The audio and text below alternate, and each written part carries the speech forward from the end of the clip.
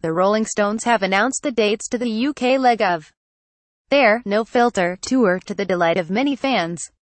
They'll be playing seven huge stadiums across the country, starting at the London Stadium in the Olympic Park on the 22nd of May, and finishing at St Mary's Stadium in Southampton on the 29th of June.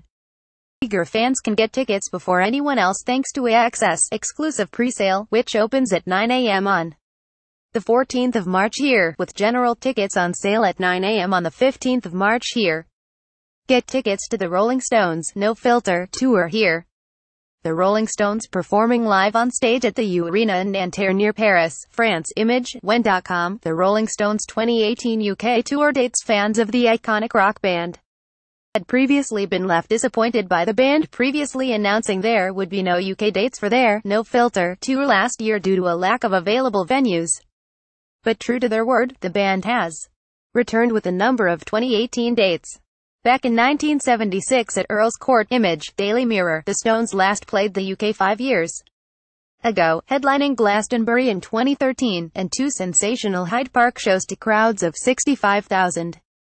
With anthemic hits such as Jumpin' Jack Flash, Sympathy for the Devil and Gimme Shelter, the Rolling Stones are bound to be one of the hottest tickets in town thanks to their legendary stage presence and colossal back catalog.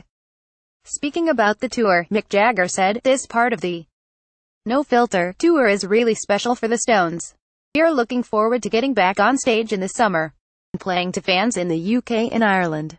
It's always exhilarating going to cities we haven't played for quite a while and also some new venues for us like Old Trafford.